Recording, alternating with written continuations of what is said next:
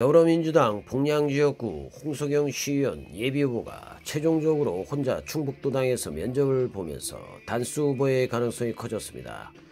홍석영 예비후보는 15일 당내 경쟁자 없이 청주에 가서 혼자 면접을 봐 기분이 좋은 상태로 휴일 비닐 씌우기 대민 봉사활동을 펼치고 있습니다.